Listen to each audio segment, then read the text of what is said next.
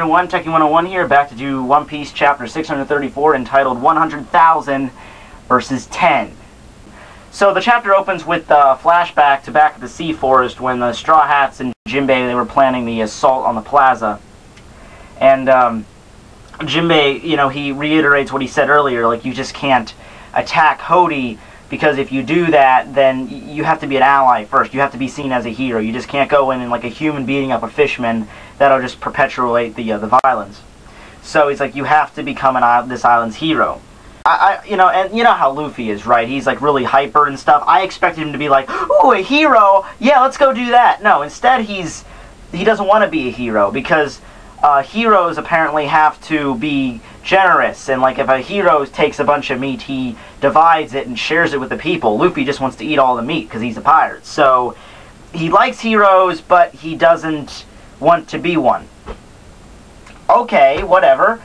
Island's about to be sieged by an angry fishman that'll rule it under an iron fist, wants to enslave all of mankind, but whatever, you have a personal problem. That's cool, Luffy. That's just dandy. but, um, anyway, Jinbei hatches the whole plan with uh, getting captured. They got captured deliberately, him and Megalo. And uh, he explains later that he, Shirahoshi, he didn't expect Shirahoshi to get captured, but she did. Uh, and then Luffy hides in the shark's mouth, and he comes out um, at the right time. Jinbei explains, you know, you have to get the uh, the world noble's letter, and you have to get the keys. So, you know, find some way to do that. And Luffy's just like, oh, okay, we'll figure out some method. And Sanji just freaks out. He's like, how rough is this plan? Well, you're, you're coming up with it like 10 minutes before you're actually doing it, so it's not really a, a great plan there. But uh, it works out in the end, as we saw last chapter. Um, so then Jinbei asks uh, Camie, you know, how do you think the crowds would respond if, you know, Luffy showed up and, you know, started beating the crap out of Hody? And she's like, well, they'd all cheer for him. And then Luffy, again, he's like, I'm only doing this because you're asking me, Jinbei. I'll be seriously put off if people start cheering for me. Okay, this is not the first time someone has been cheering for Luffy. It's happened before, several times. He is the hero of many islands. Did, did you just completely forget about Alabasta and Skypiea because that happened and you are the hero of those cultures now. So, yeah, I, I, don't know where this is coming from all of a sudden, but whatever. And then Jinbei goes on to explain the most important part of any military stratagem. The name. And they never show it either. They never show what they came up with. I really wanted to see, you know, what, was the name there? Like Operation Beat the Crap Out of Hody or something? I would have voted for it. But anyway, um, Cut back to outside the uh, Gyoverly Plaza where Hody gets back up after being punched by Luffy. He starts, you know, walking back to the plaza all beat up. So then we come back to inside the Gyoverly Plaza where all the citizens are cheering for Luffy, just like they should. And Luffy doesn't really, you know, he doesn't really have a comment on this either way. But um, then uh, Zeo comes up from the New Fishman Pirates and he makes a little statement. And uh, meanwhile, all the pirates are just like bickering and arguing, like talking to each other. Apparently, Sanji was the one that went to um, Neptune's palace, Ryugu Palace, and uh, that's the, she's the one that saved everyone uh, from the palace. And uh, they're bickering about that. And uh, Frankie Franky mentions that he has two new weapons installed on the Thousand Sunnies. So I'm really interested in that. That's going to be pretty cool. He uh, he's about to reveal one at the end of the chapter. Um, I don't know. I have a pretty good suspicion that one of them is going to be the Soldier Dock 4, because 4 was always empty. I remember that, so it's probably in something in 4. But uh, I don't even know where the other one would uh, come in at, but um, but I guess we'll uh, see that when the time comes. And they were bicker, and they're bickering so much apparently that they didn't even hear what Zeo said. And he said, you know, you guys are so bragging just because you took back the king for now. And one of the new Fishman pirates is like, I don't think they heard you, Zeo. I'm like, that's because I was talking too low. Whatever. He's been, uh, he's kind of like, been like submissive a lot, you know? He's been like, on, he was speaking on the ground, he got trampled by everyone, he's talking so low so no one can deliberately hear him. Whatever, I don't know what the deal that is. Uh, and uh, now, though, uh, apparently Luffy has stopped calling Shirahoshi Crybaby and is now calling her Wekahoshi. Okay then. Not really a step up from that, but she thinks it is. She's like, oh, you stopped calling me Crybaby. Toshi actually sounds a little bit worse because you're actually making fun of her name.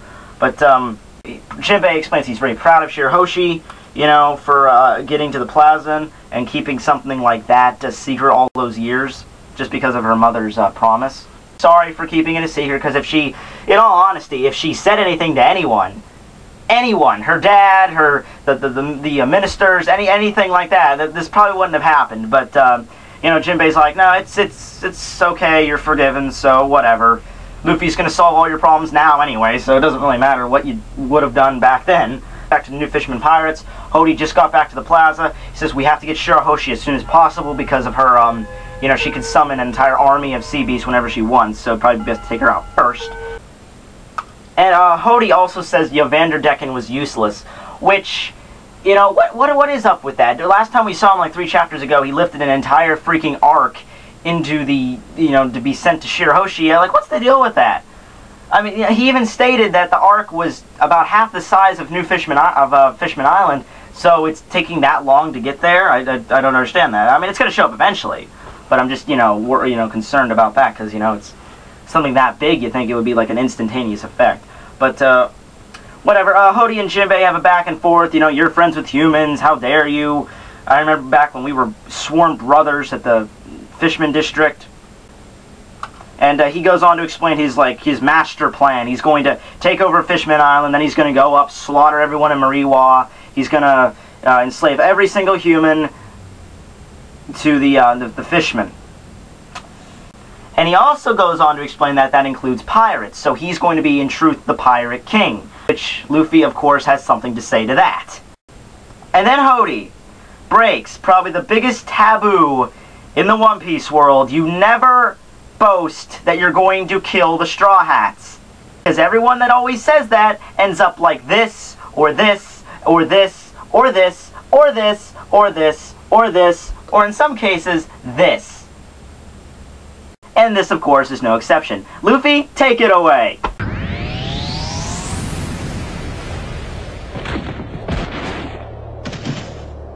Yeah, uh, not your smartest move there, buddy. Uh, so their numbers get cut by half. Uh, that, that's again, I don't even how would they know that? Like it got cut exactly by half. But uh, Luffy took out a huge number. Hody is shocked. Uh, Jinbei, you know, is like, oh, I can't believe he came this far in just two years.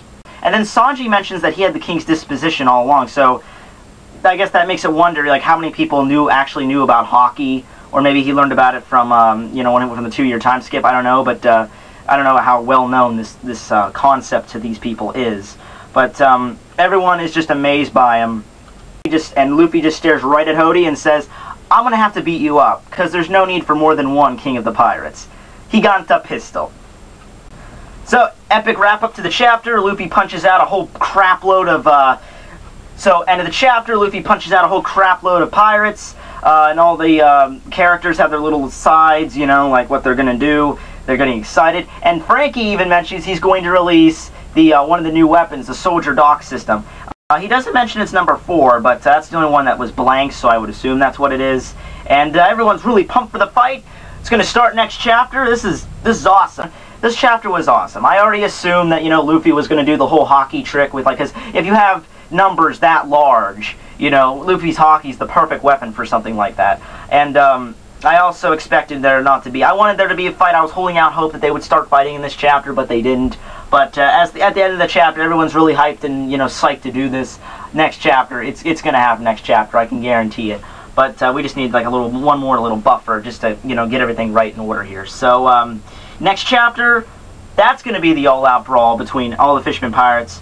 Uh, by next chapter, I think we would have a pretty good understanding about who's fighting who.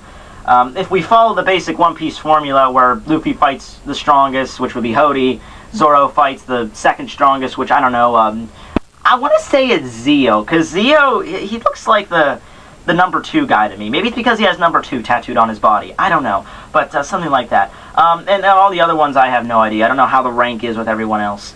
Um, I have my basic idea that, you know, someone with fire is going to fight against uh, Ikaros because he's afraid of fire. So either Usopp, uh, Sanji, or uh, Franky, they can use fire. So um, we'll see next chapter. Uh, Tekking 101 signing out.